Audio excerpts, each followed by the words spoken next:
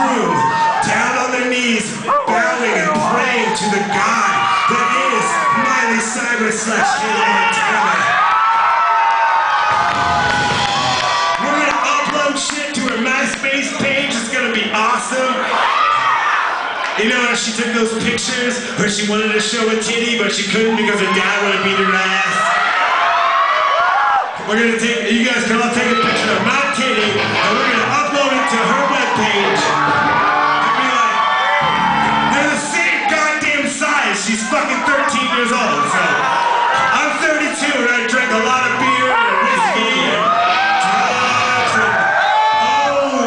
great things in life that, you know, get laid before you when, you know, you're in a rock band.